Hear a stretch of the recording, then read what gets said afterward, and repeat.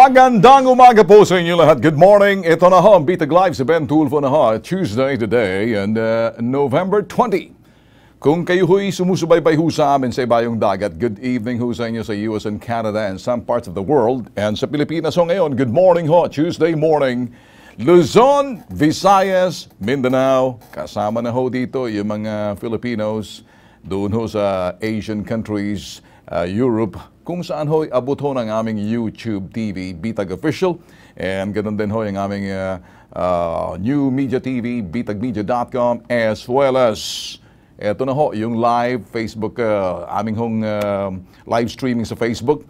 Pero ito ho'y uh, programa ho namin, uh, live ho tayo mula sa studio ho ng uh, Bitag Multimedia Network dito ho sa Ritual Center sa Timog Avenue sa Quezon City, 102 Timog Avenue. Diretso ho yan sa inyong telebisyon, official station ho namin State Network, PTV4, and sabay din ho yan sa ating uh, Radyo Pilipinas 738. Good morning! Good morning! Umpisahan ho natin ang topic, medyo ito ho'y pa, paborito ko ho to. Alam nyo ho, magkaiba yung salitang eh, misused and negligence. Negligent. Yung maling paggamit at kapabayaan or nagpabaya. Bakit ho natin inumpisa? Tingnan ho natin. Pag sinabing misused, nagamit mo ng hindi tama or sadya mong hindi ginamit ng tama or mali ang paggamit mo ng bagay na kinakailangan na sa tama. Pero yung pinakamasaho sa lahat ay eh, yung hung nagpabaya dahil negligent o kapabayaan. Negligence or kapabayaan. Ito hung aking sasabihin ngayon sa inyo, Yolanda Fund ho to mga boss. Yolanda Fund, yun hong pondong ay eh, pang-Yolanda noon. Kung tutuusin, boss, eto ho nung uh, mga report ho, kung babalikan natin, sabi kasi ni Mar Rojas, hindi raw sa kanya dumaan kasi uh, lumalabas ho, parang uh, ang paggamit ho ng pondo ng mali or ginamit mo or, or mali ang iyong kumaga pangangasiwa at hindi lang mali, nagpabaya ka na hindi mo nagamit ng tama, ay, sa pool ka roon. Alin ang mas masakit? Yung maling paggamit ng pondo o ala kang ginawa, nagpabaya ka. O sabi ho ni Mar Rojas dito mga boss, hindi sa akin dumaan yung pondo ng Yolanda. Oo, oo, oo nga, hindi. Dahil oo nga, pero ikaw yung DILG noon. Hindi ako sa finance, tama. Hindi ako sa treasury, tama, DILG ka. Eh, hawak mong lokal na pamahalaan nung araw, mga Department of In, uh, Interior and Local Government Secretary ka noon. Lahat na donasyon na yan, dumadaan, kumbaga sa checkbook ng bayan. Ah, alam naman natin yan. Eh, sino bang malimit pumunta roon sa, sa Leyte noon? Sino ba ang golden boy? Si Boy Semplang, si Boy. Ayan! Sino ba si Boy Semplang noon? Ngayon, ang sinasabi natin, pamotorsiklo, motorsiklo ako, sumayemplang ka doon sa sinasabing Leyte sa Tacloban, sa Yolanda. Malinis naman ang pangalan mo. Wala namang problema. Mayat maya, pag binabato sa iyo, fake news ang sinasabi mo. Well, totoong may mga fake news, may totoong balita na ito naman, factual news or truthful news, at pero yung fake kasi walang katotohanan. Okay, sige, himayin natin ha. Siguro ang sabihin natin dito mga bossing, ang maling paggamit or nagpabaya ka or pabaya ka sa iyong paggamit kasi siguro sa anong kapara, anumang kaparaanan or anumang dahilan ay nagkaroon ng kapalpakan sa parte ho ng mga administrasyon, administrasyon noon, administrasyon ho ng Dilawan. Ito ho yung report kasi mga boss. Ito naman ang report ng sinasabi, the government has released 67.1 billion pesos for rehabilitation of areas affected by Yolanda. Eh, alam naman ho natin, 67.1 billion pesos. Pero may mga opisyalis din dito na nagsasabi na karamihan ho doon sa mga pondong na yon na naiwan ho na hindi nagamit. So pag hindi ho nagamit, unutilized, ibig sabihin, may nagpabaya. Iyon ang ibig sabihin. Alin na mas masahol? Nagamit mo ng hindi tama or nagpabaya? O nagpabayaraw, sabi mismo ni Senator Lauren Ligarda ng 2016, that time, 25.6 billion pesos na inallocate for housing assistance sa Yolanda victim. Alam, al- alam niyo ba ang nagamit?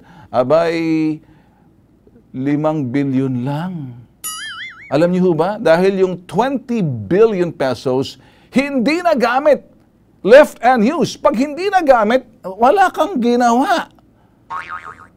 Siguro wala kang ginawa. Ibig sabihin, walang nagawa yung panahon ng mga dilawan na kung saan ang sentro ng kontrobersiya, yung Yolanda kasi labanan doon ng araw, nakasentro mga mata ng mga dayuhan sa atin nung panahon ng mga dilawan, panahon ni, ni Notman, ni Pinoy. Eh, sino bang umi-apple the time? Sino bang the, yung golden boy? The golden boy si Mar Rojas kasi tatakbo siya. Ayan nga, pati bawang pinakialaman. Boy palengke. boy semplang. O, boy bawang. Asus Mariosep. Lahat na, lahat na pautot ginawa nito. Ang isang bagay na medyo hindi niya nagustuhan. Ayan, motor semplang. Asus Mariosep. kaya, kaya mga boss, etong nangyari. Anong nangyari doon sa sinasabi nating 20.7 billion pesos na hindi nagamit? O ngayon, yung daw bahagi noon na mga hindi nagamit na dapat ginamit para sa Yolanda, eh, kumbaga, eh, ginawa na lang, ni-realign for rehabilitation para sa Marawi nung yung uh, tag ginawa ho ng pagkubkub ho ng mga at that time, sinubukan sandali, yung ISIS that time. Pero si Mar Rojas, eh, nagsabi ho na sinasabi niya, kapag ang sabi niya, hindi sa akin dumaan yan. Kasi parang lumalabas, and during that time, eh syempre, ano man nangyari that time, eh, yung pagga, maling paggamit, maling paggamit or hindi nagamit, alin ho mas masakit? Yung maling paggamit o hindi nagamit? O mali ang paggamit, ibig sabihin, naubos mo, hindi lang tama, o mali pa rin. Etong pinakamalaking mali, na pinakamalaki lahat, ala kang ginawa, nandyan lang, natulog sa pansitan yung pondo, hindi nagamit, samantala, samantala nga nga lahat yung mga nandoon sa, sa Leyte, sa Yolanda. Kita? Kita niyo ho ba?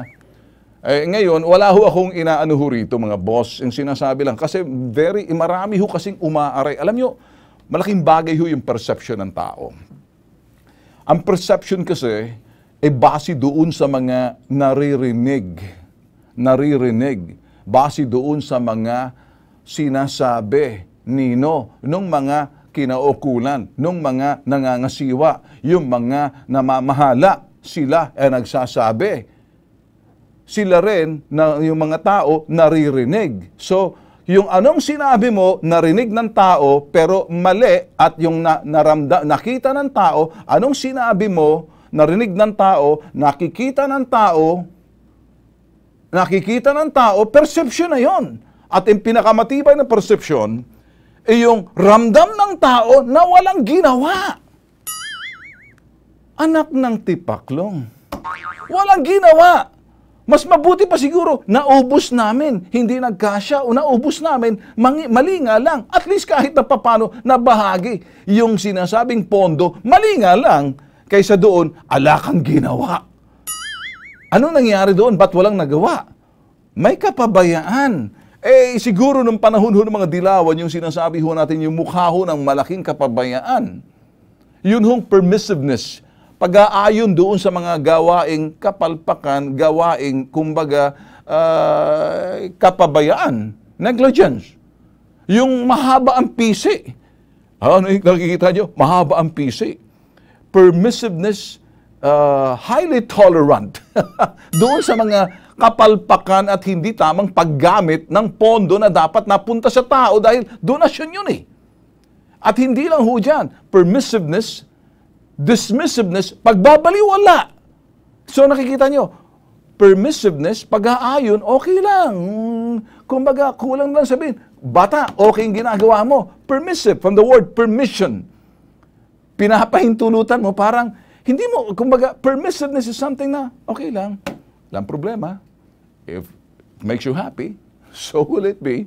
so, yun yung This, yung, hong pag, yung mahaba ang PC, highly tolerant, doon sa ginasinasabing kapabayaan, ayun ang sinasabi natin. Yung dismissiveness, pagbabaliwala. Asus Mariosep, yun ho yung panahon ng mga dilawan.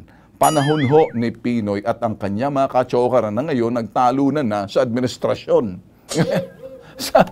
Kaya ito, ito pang sinabi ni Maros, tingnan nyo, tingnan nyo po, o, tingnan po ninyo, lahat nasa COA, ng COA audit report na sumusubaybay sa aking tungkulin sa DILG at sa Interior and Local Government Secretary. Ayan, ha? Ah, ni isa doon walang sinasabing anomalya sa Yolanda. Eh, hindi naman napun- Sabi mo nga mismo, to- totoo yan. Pero kung paano ninyo ginamit that time, eh that time na mga mga uh, that time ah, ano nang nangyari doon? Bakit hindi nagamit yung malaking pondo? Kasalanan ni Pinoy or kasalanan ng ah, at, ah, ni ni Florencio Abad. Eh mga kachoka rin, dalawang vocal na yan. One vocal plus, ah, two vocals plus one bopol. Oh, sige. vocals and kalbo. Abad, Pinoy. Bopol, pwede na sabihin si Kiko o ikaw, two vocal plus two bo bopols equals palpak. O, di ba? Two vocal plus two, two, two, two, two bopols. Sino vocal? Florencio. Anong meron? Kintab, ulo. Pinoy, kintab, ulo. Bopol, as in bopol, si Kiko. At saka sino pa? Si Mar. We're just trying to make things fun. I'm trying to be little, li- like a high school kid talking sometimes. You feel it's nonsense, pero may laman hong aking sinasabi. Pinagagaan ko na lang ho eh. Na kung minsan may paghahalong ulukait. Alam niyo ho ba bakit? Siguro pang isang taong kaysa mabuisit ka naman, ulukait ka na lang. Ibig sabihin, manginis ka na lang. Kaysa magalit ka. Di ba? Siyempre, pag nagalit ka, sus Mariosep, eh tataas ang blood pressure mo yan. Pag nagalit ka, tataas din ang blood sugar mo yan. Ayusin mo natin ang Amerikano natin para eh, ma- medyo ma- baka sabihin eh, kahit na paano nagpapatawa tayo rito. Ito ho, ang 2015, yung COA report ng Yolanda, nakita ho nila, 2015 COA Commission on Audit, sinasabi ho ng Commission on Audit na ang DILG hindi matagumpay na kamtan yung sinasabing paghanda, yung full preparedness. DILG has not successfully achieved full preparedness of LGU. Doon sa sinasabing Yolanda, hindi pag hindi handa. Kaya nakita, kaya ang report also noted that 76 million pesos allocated for DILG risk uh, disaster risk reduction management only 43.5 uh, or uh, percent or about 33.7 million pesos unused. Hmm. At yung mga, ah, ito 33.7 million nagamit pala. Pero yung kabuuan ng ka, Naku, Sus Mario, mas malaki pa yung hindi nagamit. Bakit hindi nagamit? Alam niyo ba bakit? Kasi hinahanda nila yung pondo pang eleksyon, mga bossing.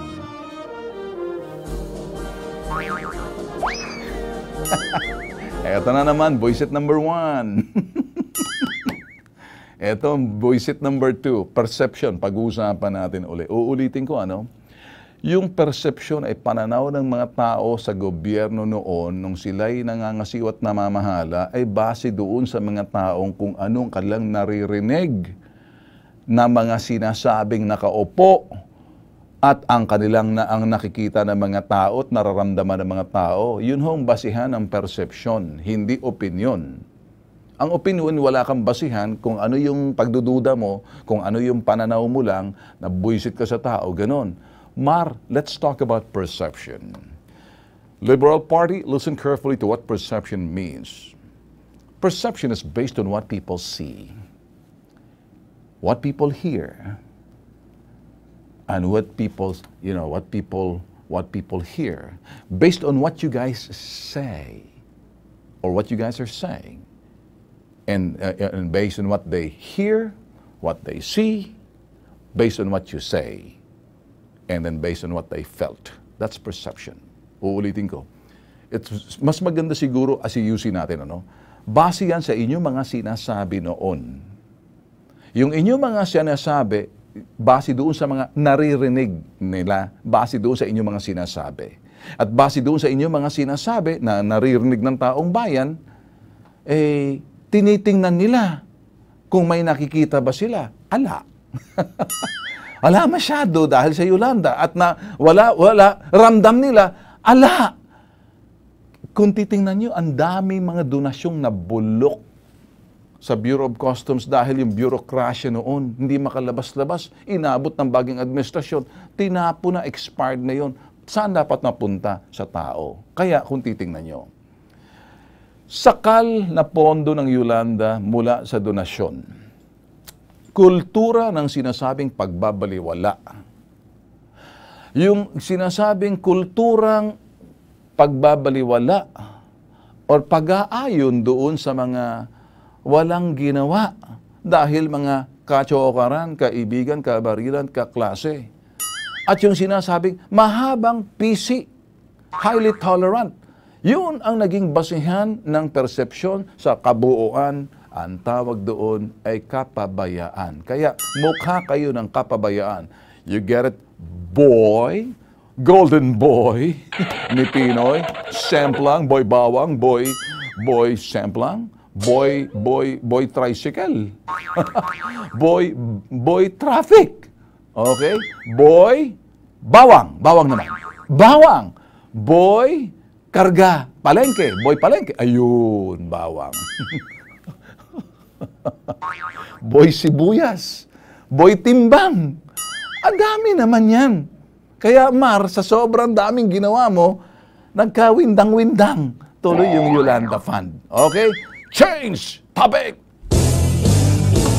Alright, public service naman ho tayo mga boss bago tayo dumako rito sa sinasabi ho ng iba na mga ito naman ho'y base doon sa um, mga uh, mainit na issue ngayon, yung alsamasa. Pag-usapan natin mamaya. In the meantime, public service ho muna. Ito hong mga lumalapit ho sa amin every day, sa dami ho nila, ginagawa ho namin aming magagawa sa aming makakaya kung minsan talagang sa sobrang dami. Eh sinisiguro ho namin sila ho'y mapalabas. At kung hindi man ho mapalabas sa telebisyon, mapapanood nyo ho ang karamihan ho doon mga sumbong sa aming YouTube TV. Yan ho'y Bitag Official. YouTube TV. YouTube TV sa aming Bitag Official. Ito ho, no, ang refund ang isang bagay na pag dineposit mo at hindi nangyari yung deposit, paniguro lang yan. Ang deposit sinasauli kapag walang nangyaring transaksyon, kapag hindi nag-push through, gawa nga na hindi na-aprobahan. Kapag ang deposit, deposit binulsa mo, ay kapalmoks ka. Kaya ito, pinagtulungan namin na Attorney Batas Mauricio sa bandong huli umoo, panoorin.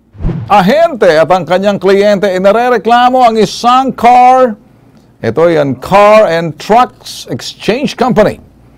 Ang dahilan, abay, ayaw i-refund ang reservation fee. Alamin ang buong kwento.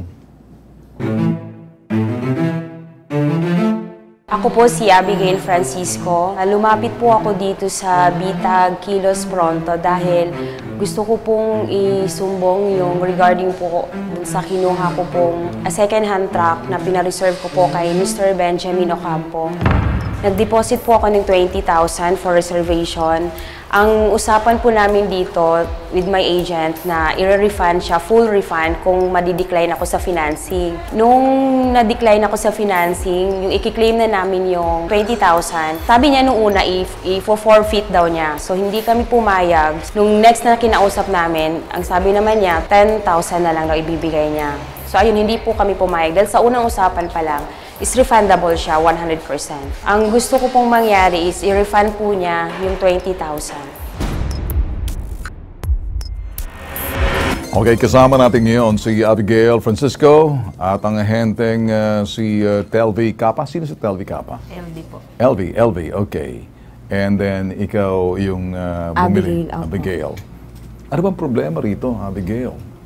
Anong ano anong ano ano ba sa palagay mo kung ikaw yung ahente, ano bang nangyari dito sa kay doon sa um, 522 Cars and uh, Trucks Exchange? Anong problema? Yung nag, ayun nga sir, nagpa-reserve po ako ng truck sa kanya. Okay, nandiyan nata sa linya na, no? Wala pa? Nasa linya na. Okay? Okay, nasa linya. Si, nasa linya ngayon may-ari ho ng 522 Cars and Trucks Exchange, si Benjamin Ocampo. Magandang gabi sa iyo, Mr. Ocampo. Benjamin? Yes, op- opo, opo. Sige, opo. Si Ben Tulfo, sir, sa Bita Kilos Pronto sa PTV4. Mapapanood ho ngayon sa YouTube TV, bukas ho sa PTV4.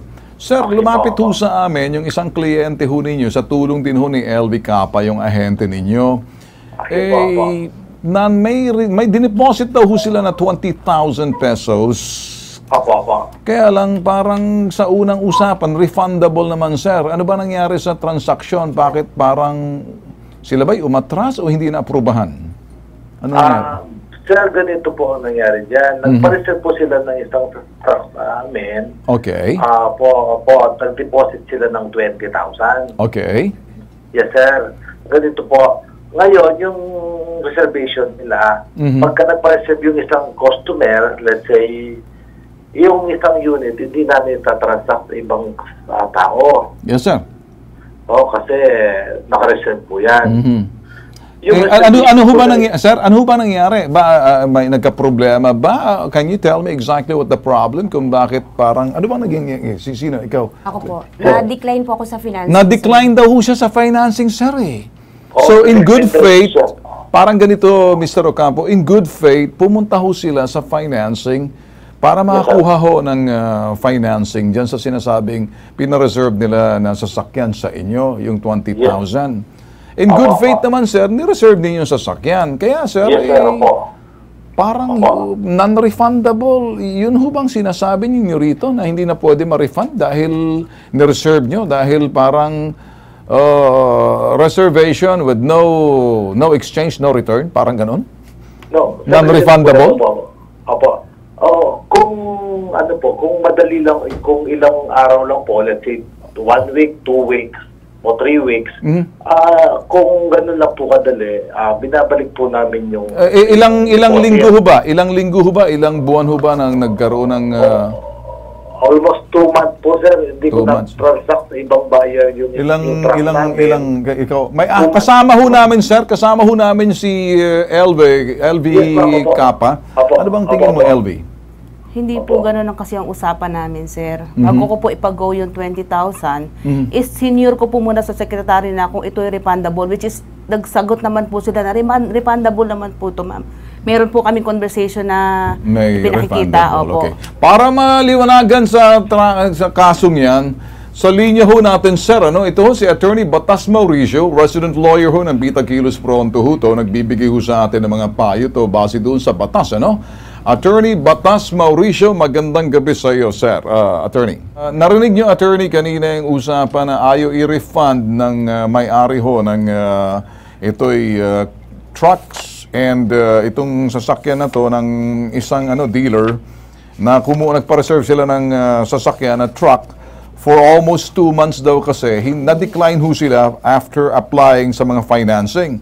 Ang ah, sinasabi ho ng ah, ng may-ari ho ng car ah, 522 Cars and Trucks Exchange eh na-reserve daw ho nila yung sasakyan na truck at pagkatapos eh umabot daw ng two months kaya non-refundable.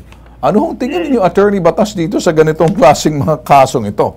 Kayo ho, Well, Well, matindi po yan, Ginoong Ben Tulfo, but Mm-hmm. basically, yan po ay masasakupan ng ah, kontrata, Ginoong Mm-hmm. Ben Tulfo. may kontrata ba kayo? Wala po. May, wala daw silang Wala po. reservation Pero sir, fee pa lang. Hindi po siya two months kasi dineposit ko siya ng October 8. Tapos pina- sinabi na namin sa kanya ng November 1. Mhm.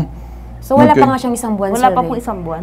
Pe- Pero may nakalagay ba non-refundable? Wala Meron, po. meron, meron po. Okay. dyan. Wa- walang nakalagay non-refundable, sir. Ah, refundable, nag-uusap sila bago nila i-clinose. Sabi ho ng ahente mismo kasama natin ngayon at yung kliyente, eh wala daw sa kontrata at walang kausapan na hindi pwedeng ma-refund dahil sila maghahanap muna ng financing. At Yun. sa, sa kamalasan, hindi sila na-aprobahan ng financing.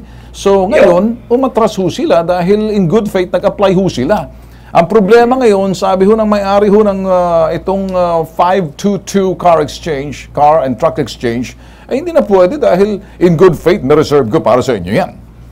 So, di, Kailangan po i-refund. Ang ganito po at... uh, si Mr. Ocampo, si Mr. Ocampo sa kabilang linya. Ocampo. Mhm. Yes, kailangan po i-refund.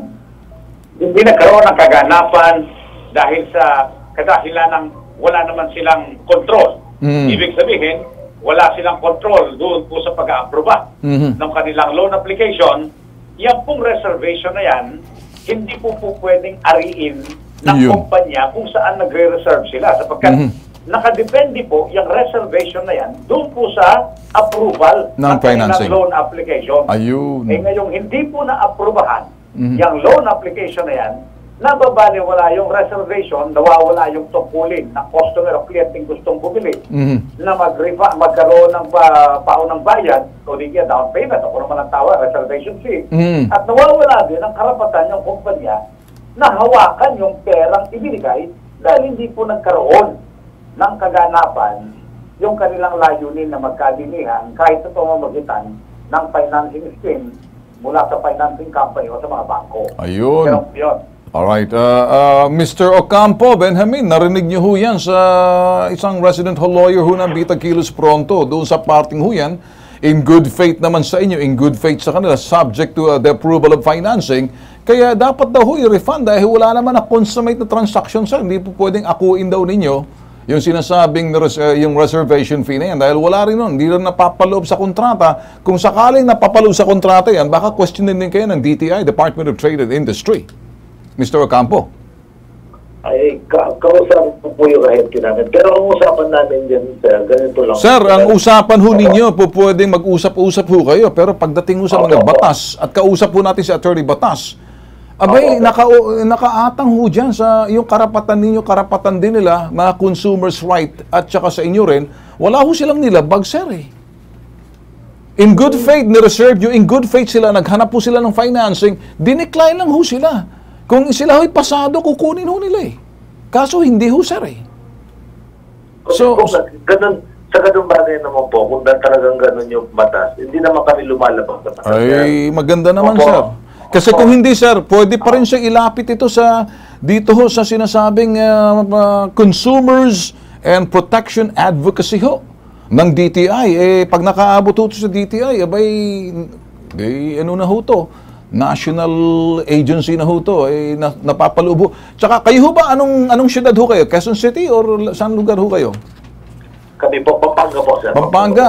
Sir, ang inyong lisensya, ma- ma- malalagay sa alanganin pag may reklamo ho kayo dahil in good faith, sigurado ho sa inyong mga pagbab ganyan, eh, may, kar- may karapatan din hong punahin kayo ng isang local government unit kung saan kumukuha kayo ng business permit and license. Pagkaalam ko, sa Quezon City, ganyan ho eh. Pag medyo may nagreklamo na in good faith naman, di naman sinasadya, wala naman hong mali, mali siya roon, eh baka ma-compromise ang inyong lisensya, sir. At saka the same time, baka ipatawag ho kayo sa DTI pagharap ho kayo nito. Kaya kung maaari ho, sir, ayusin na lang ho natin dito. Tsaka nakaabang ho si Batas Mauricio, bibigyan ho kayo ng Attorney Batas Mauricio, bibigyan kayo ng ano, demand letter to refund immediately. Because dito ho sa parting to, ako ho'y nagsasabi na mismo, wala raw ho kayong karapatan na i-hold yung deposit kasi walang transaksyon naganap. In good faith kayo pareho. Okay. Sige po, sir. Ah, ganito po. So kailan ho makukuha yung 20,000 sir? Para wala na maraming usapan. Sige, sir. Ah, konsulta lang namin sa abogado namin. Well, uh, So, sir, po sir, ang sir, sir, ng ang abogado ninyo, dalhin mo sa DTI. Opo. Ah, naintindihan, Opo. sir? Pata- uh, I will I will Sige try po. to educate you muna, Mr. Ocampo. Opo. Ang kausap mo riyan, abogado, panyero sa panyero, sasabihin ka ng abogado mo, mali ka riyan. Pero itang bagay lang, ano, mer- meron tayong, meron tayong national na ito, ni- ta- departamento na manghihimasok dito. At baka ma- malagay ka sa alanganin. Ito yung sinasabing, ito yung pagpoprotekta ho sa mga mamimili, Consumer Protections and Advocacy. Deposit ho yan, sir. Hindi nyo dapat binubulsa. Opo. Kung mali po ako, sir, kung nagkamali man ako. Kung, Eh ngayon pa lang, sinasabi ho namin sa inyo, sir, mali ho kayo, sir, eh. Pero kukonsulta lang namin sa abogado Oo, namin. sige So, kayo, bahal. Anong tingin mo, Attorney Batas Mauricio? Well, pagka po gano'n ang sagot, ah, alam po nyo, napakaliit na halaga niyan para mawalan ng kredibilidad yung kanilang kumpanya. Naku, Kung ako po, eh, hindi ko na magkukonsulta kahit kanino yan, Sapagkat sentido umon lang naman, common sense lang naman po pag-uusapan dito. Mhm. Una, hindi nagkaroon ng transaksyon, hindi natuloy, wala namang kasalanan yung nagpa-reserve. Of course, wala din silang kasalanan. Mhm. Pero kadalasan yung mga ganyang sitwasyon, ang nag-a-apply po dyan, yung pong kumpanya na interesadong magbenta. Mhm. Yun po yung katotohanan niya. Kaya sa 20 mil lang na pinag-uusapan, magkakaroon ng malaking problema. Magbabayad pa sa abogado, magkakaroon pa ng, ah, ng adverse record sa DTI. Mm. Nako. Ang kumpanyang yan, eh mas malaki po yung magiging pinsala sa kanila. Ayun. Kaya ang amin pong pakiusap, mula po dito sa Vita Kilos Pronto, dito po sa batas, abay, ibigay nyo na. Total ko, konting halaga lang po yan. Mm. Hindi po yan ikahihirap ng inyong kumpanya dahil uh, napakaliit na halaga lamang po niyan. Pero malaki dito po sa taong nagluwal ng pera para lang makaumpisa din ang kanyang negosyo. Ayun, Yun lang sir. po yung aming ginawang venture po. Alright. Uh, Mr. Ocampo, siguro narinig nyo. Tsaka Mr. Ocampo, word of advice, mabibenta rin ho yung truck na yan, sir. Hindi Opo. naman mapapanis yan eh. Wala namang expiration yan na parang expired, no more, no no less. So sir, mabibenta ho yan. Bago pa rin ho yung truck na yan. Gagawin nyo ho yan. Hindi ho ba? Hindi naman yan Yes. ibig sabihin na benta, parang bumaba na yung resale value niyan. Eh, kung pre-owned na, eh, hindi naman sir eh, hindi naman sinasauli sa inyo eh. Di ba? Hindi naman ito, Yes, unless, yes, yes, sir. Okay. kahit na may lemon law tayo sir, kuminsan talagang pinagawan ho ng talaga ng paraan ho, ng mga, may, may batas ho tayo sa kongreso niyan sir. Ako sir, medyo humahaba, eh simple lang ho. Kailan ho sasauli inyong 20 mil? Sige, sige, sir. Uh, mga tomorrow siguro. Ayun, okay. Yun, yun lang naman pala. Ayun. Okay. Merry Christmas, Mr. Benjamin Ocampo. At in a Happy New Year and Happy Valentine and Happy Easter, Happy uh, Flores de Mayo. Lahat na. Thank you. Thank you for such a big and good sports, Mr. Benjamin Ocampo. Sa iyo, Attorney Batas Mauricio, maraming salamat din. Ay, saan po, kulit, analaw po nito ni Batas, kasama, Ilong Ben Tufo. All right. Uh, Mr. Ocampo, thank you so much for being a good sport. Sasamahan na lang ho namin sa inyong tanggapan, sir. Sabi nga na Attorney Batas, maliit lang ho para sa inyo yan. Pero dito ho sa mga nag apply malaking bagay na ho, sir. Kasi ho'y negosyante rin ho. Kasi sila ho'y bibili rin pang negosyo. Pero hindi ho kasing tibay ng katayuan hinyo sa lipunan, sir. Tulungan na lang ho natin, Mr. Benjamin Ocampo, ha? Ah, sige po, sir. Sige Thank po. you, Mr. po. Benjamin Ocampo. Okay, all right. Uh, good evening sa iyo. Okay, ayun. you po. Okay na ba tayo yan? Salamat po. This is, sabi ka. Sana to pa rin niya, sir. Ha? Ano? Sana po to pa rin niya. Relax ka lang. Sinungaling kasi. Meron sir. ka bang asthma? Wala po. Wala ka bang blood sugar problem? Meron po. Naku, pati. Meron ka bang high blood? Wala naman. Aba. Mamaya pa lang po. Etong dapat sa'yo. King's Herbal.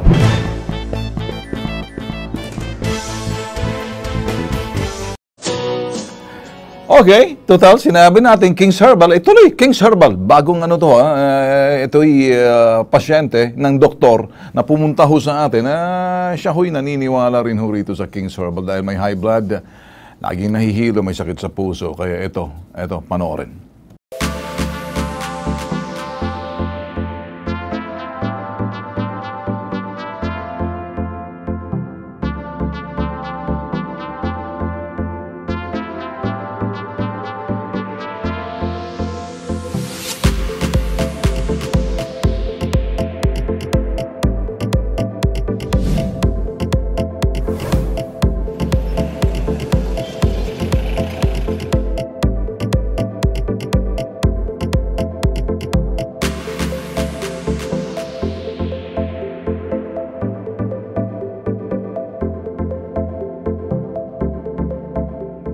Si Mama Basyon ay isa sa mga kamag-anakan na una naming sinusubok ang King Herbal Supplement. Sa una, tinatanong ko ang paggamit niya kung continuous. After a week, bago ako nagtanong sa kanya ng epekto at sabi niya, malaki ang pag-improve sa aking katawan, no? Sabi niya sa akin. Dahil siya dati laging nahihilo, laging masama ang pakiramdam dahil sa kanyang hindi maintindihang ah, sakit. Ngunit sa King Herbal, nag-improve na ang kanyang pakiramdam.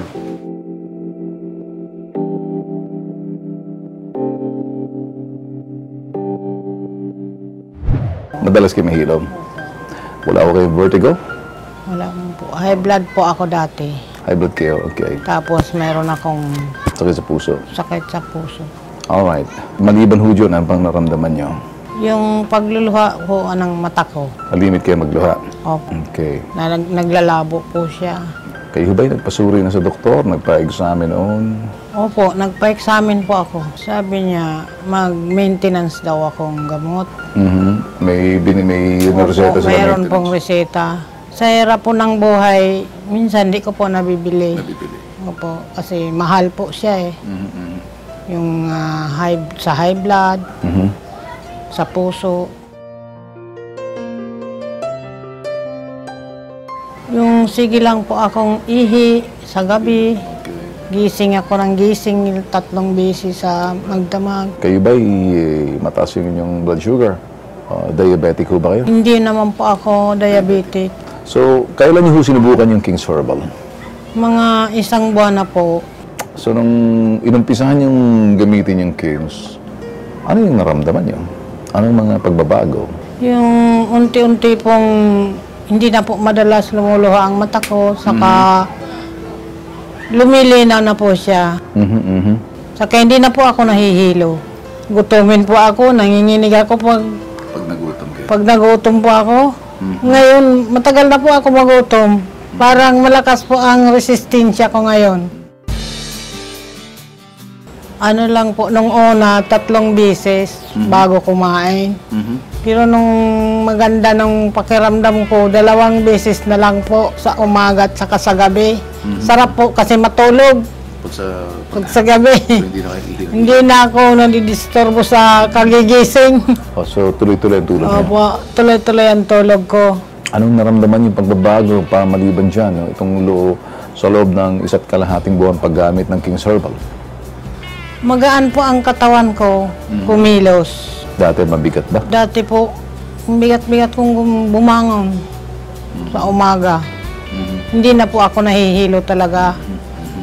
Yung mata ko, madalas na hindi na lumuluha lagi. madalas ngayon. Opo, na parang hindi na nga po ako makakita. Mayroon na nga po akong salamin pero lumalabo pa rin. Mhm. Pero ngayon, kumusta naman? Ngayon, malinaw na po ang paningin ko. Nung makagamit ako niyan, pasalamat nga po ako doon sa pamangkin kong nagbigay sa akin yan. Na sabi niya, subukan mo itong King Herbal kung maano sa sarili mo. Maganda nga po sa pakiramdam.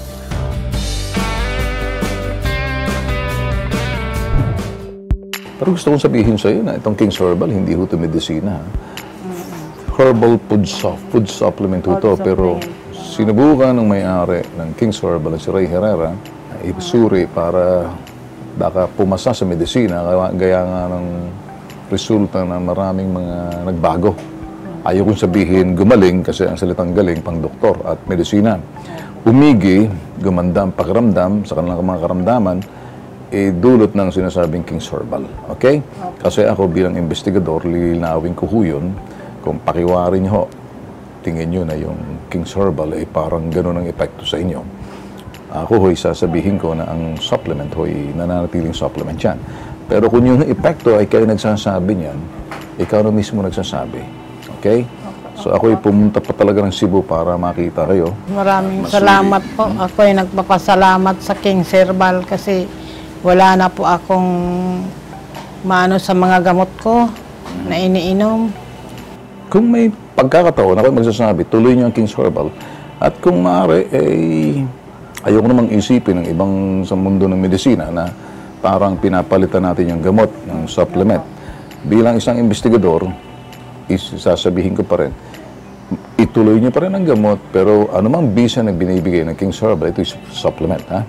Ihikayatin ko kayo, magpatingin pa rin sa doktor, kasi ang doktor magsasabi kung anong karamdaman. Pero kung yung mga wala ka namang nararamdaman at umigi naman, yan ay dulot ng King's Herbal.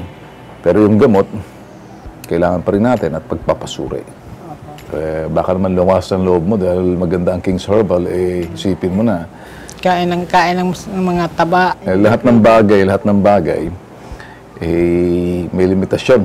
At pag sinabi ng doktor iwasan, iwasan natin. So, i-recommenda mo ba ang King's Herbal sa iyong mga kaanak or mga kaibigan, sa edad mo, sa nangyari sa iyo, napansin ba nila yung pagbabago? Opo, Ano sabi na sa inyo? sabi niya, dati hindi ka ano, yung parang ano daw ako kumilos, parang uod. Ngayon, Ngayon, maliksi na po ako kumilos.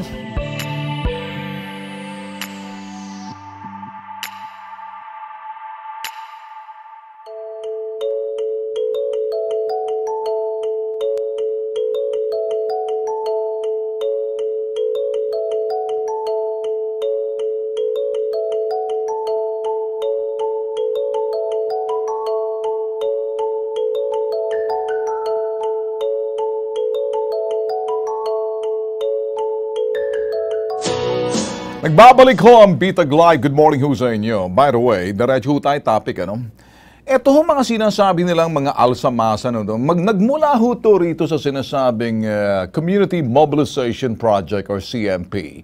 Ito ho yung kung sa panahon ngayon, CMP ho yan. Ang panahon ho noon, panahon pa ho ni Gloria, panahon ni Panot, ang tawag ho dyan ay uh, uh, info reference, informational reference mga nirara, yung, yung mga information na binabato ho ng komunidad sa mga alagad ng batas, hindi lang sa pulis, pati sa NBI, pati sa PDEA, kung sino ho yung mga may aktibidades na illegal sa loob ho ng sinasabing komunidad na dumadaan kabisado rin ng barangay.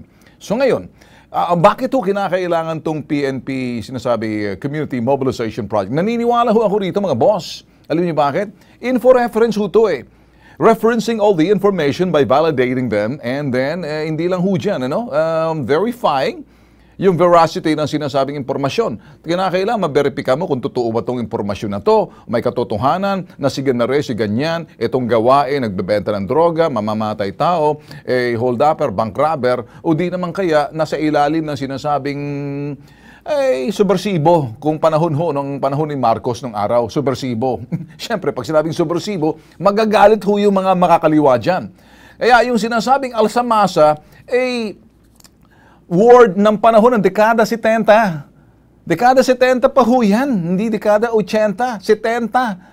At, at uh, 80, no, mga panahon na kung saan yung mga pulis ng araw, the broad daylight, binabaril lang ho ng mga makakaliwa or mga subversibo ng araw. Kaya nagkaroon ng alsamasa somewhere in Mindanao, eh pwede na ho natin sabihin sa, sa, sa Mindanao na sa Davao, kaya nagkaganon ho. Ano? Ngayon, ito hong yung CMP, community, uh, pati, pabalik nga ulit, mm, community ito yung mobilization project, The word itself is info reference, information reference. Lahat ng mga impormasyon, uh, referencing all the information, hinggil sa mga aktibidades ng mga masasamang uh, elemento ng ating lipunan. Ito ba'y mamamatay tao, kriminal, drug addict, or drug pusher, o di naman kaya uh, mga drug dealer, kung hindi dyan, uh, yun ho mga bank robber, yung sinasabi natin uh, hold upper. So, para mamanmanan sila, at ma-neutralize din sa tulong ng mga mamamayan. Dahil mga impormasyon, binabato rin ang kinakailan ng mamamayan. Bakit ho nag, na, natatakot tayo rito? Tapos binabansagan at dinidikit lagi ng panahon ng martial law. Ito yung mga sinasabing utak ng mga kaliwa. Eh, kapareho ho nitong mga nasa, nasa dilaw, tulad ho ni Risa Hontiveros. Yung magsasalita nito, hindi pa ata ng araw, nene pa lang ata ito. Baka nakadiaper pa lang ito, nagsasalita na na akala mo, galing-galing. Yung sinasabing takot na baka bumalik yung alsamasa ng mga network ng killing, extrajudicial ng killing, dito na naman kayo, praning na naman kayo eh. Ang sinasabi lang ho rito ng PNP, magkaroon ng information reference sa lahat ng mga aktibidades ng masasamang loob na binabato na mga mamamayan. Nire-reference yan pagkatapos pinag-aaralan, biniberipika, uh, tinitingnan kung may katotohanan o hindi sa tulong din ng mga nasa komunidad at sa barangay. The word is vigilance. Eh, ang problema rito sa mga makakaliwa, eh ayaw nyo kasi kuminsan gumitna. Kung kayo'y makakaliwa, may ma- nasa kanan. Yung makakanan, yun ang gumagawa ng sinasabing mga hakbang kontra doon sa gawain ng makakaliwa. Kaya makakanan, eh gigit na tayo. Balansehin ninyo. Hindi lahat ng bagay na puro gagawin ng nasa gobyerno ay mali o kung nasa yung mga ahensya ng gobyerno puro mali, kayo laging tama dahil may mayroon kayong mga pakay eh. Plain and simple. Oh, public service ho tayo. Balik ho tayo sa King's Herbal. Ito naman isang isang storya.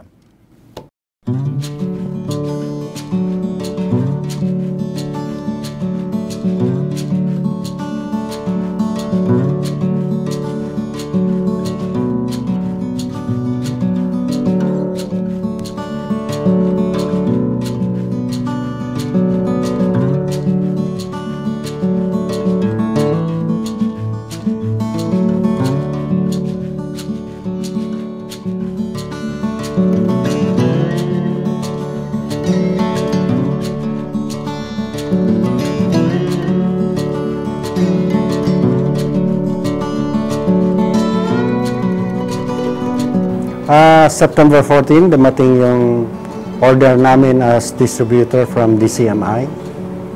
Ah, ito yung supplement na King Herbals. Ngayon, eh, para masubukan namin bago namin i-offer sa ibang tao, ay mas minabuti namin gamitin muna sa aking sarili, sa aking pamilya, at sa mahal namin sa buhay. Ang una, ang isa sa pinakaunang ginamitan namin ay si Mama Linda na isang stroke patient at mayroong sugar problem. Ngayon, simula nung siya uminom, ay marami ng improvement si Mama Linda. Nakatunayan na ang supplement ay na King Herbal ay nakatulong ng maayos sa kanya.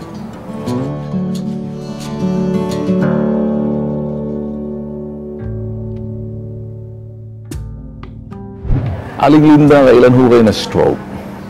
Nung April ah, 12, 2018, Alright, itong taon na to, okay. na paralyze ako dito, Kalahating katawan? kalahating katawan, hindi ako nakasapagsalita na ano yung bibig ko, hindi na ako makasulat ng kanan, tapos yung kanang ay kanang pa ako hindi na makalakad. Hanggang sa marami talaga akong naramdaman na noon. Okay. So, kailan ho kayo naggamit ng King's Herbal? Nung kinuha ako ng anak ko dito sa Cebu, dinala niya ako dito dahil walang magkasikaso sa akin sa Bicol. Dinala ko dito. Pagkaraan ng mga dalawang linggo, nakita eh, ng anak ko sa TV yung King Serbal. At that time, natumawag yung anak ko. Kailan niyo ho ginamit yung King's Herbal? mga September ah, 11 o 30 na yun. Simula nung gumamit ho kayo ng King's Herbal, ano ho yung estado ng stroke ninyo? Ano pa rin, nakaka-recover na kayo? Nung gumamit pa ako ng King Serbal, within ah, one week, yung paglakad ko, una paglakad ko naramdaman ko na, na naka-move on ako. Pangalawa yung pagtayo ko, dahil ako pag nakatayo at saka lumakad, para ako mapapasubsob, Mhm, tutumba. natutumba. Uh, walang balance. Walang balas. Ito may mga sugat ako. Okay, okay. Nakita ko nga, oh. Oh, may sugat ako dyan. Oh. Ngayon, last week ng September, dito ko naramdaman lahat na yung namamaga, medyo umaano na siya, Pabawasan. nababawasan. Ah, gagalaw niya na. Nagagalaw ko na. Ilang linggo na kayo umiinom ng King's Herbal, no? Oh, may git ng tatlong linggo na. Nakakapagwalis na ako. Pinapagalitan nga ako sa bahay ng manugang ko ng kapatid ko. Bakit daw pinapaghugas ako? Gusto kong igalaw ito. Dahil pag hindi ko iginalaw, wala na. Mhm, mhm. Yun. Natutulog ako para kung na ano na, pati itong mga ano ko, Daliri niyo. Nagagalaw niya na na. nagagalaw ko na. Nararamdaman niyo na. Nararamdaman ko na. Ano na? Tsaka pati diabetes ko, Mm. maganda. O, Yung blood sugar mo. Blood, blood sugar ko. Ang ano ko lang, sir, ito, hindi naman agad-agad di ma... Pero ngayon nagagalaw kayo mo na. Sige, sige. Okay.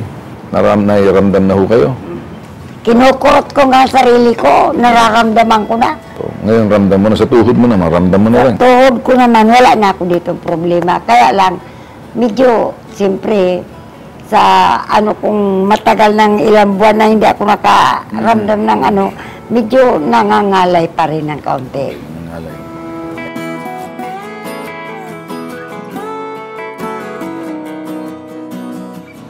Anong pakiramdam niyo sa umaga at gabi ngayon mga itong mga nakarang araw? Ay sa umaga talaga, kahit gustong gusto ko nang magkape, uunahin ko yun. King Sorbal. Pagkaraan ng wala pa ng isang oras, nagtitimpla na ako ng kape. Matagal magutom ako. Okay. Matagal magutom at saka maganda sa katawan. Malakas ako. Nakakalakad ka na. Nakakalakal, nag ano nga kami sa subdivision. Eh, kaya mo na magwalis. Ay, Walis na. walis lang. Ay, okay. Nagbo-ballroom dancing pa kayo. Ay noon, nagsusumba ko. Okay. Ngayon, kaya mo na. Kaya ko na ngayon. Anong sasabihin niyo doon sa mga may mga edad na kapareho niyo na nakakaranas ng naranasan niyo sa nakita rin niyo yung bisa nangyari sa inyo, yung naramdaman mong kakaibang lunas sa King Sorbal. Anong sasabihin niyo sa Sabi ko kanila? dun sa amiga ko, dalawang amiga ko na pensyonada. So, bu- ano ba ang nangyari sa Linda? Parang malakas ka ngayon. Sabi ko dahil sa King Serbal. Subukan nyo at makikita ninyo ang pagkakaiba. Malaki ang tulong sa akin sa aking katawan ng King Serbal.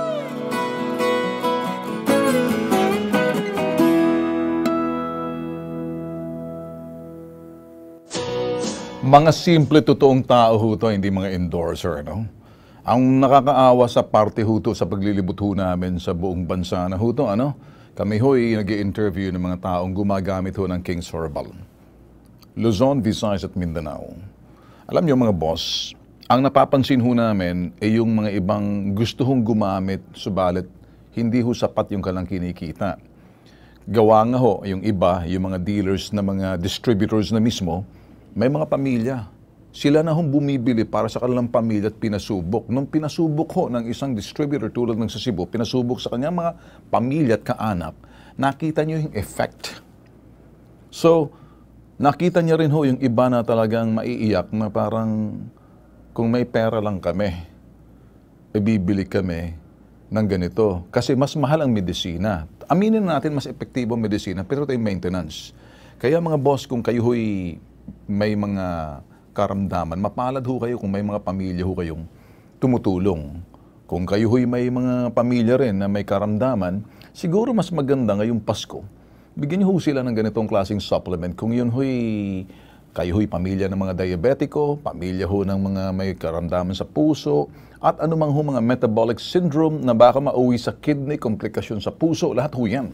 Hindi ako parang nagdodoktor-doktoran dito. Ang sa akin lang dito, nakita ko mula sa puso ho nila, mga simple, totoong tao nagsasalita. Pag nagsalita ho sila, tagos hanggang buto. Hindi ho binabayaran tulad ng mga endorser, mga, endor, mga endor, endorso na yan, mga endorser na yan.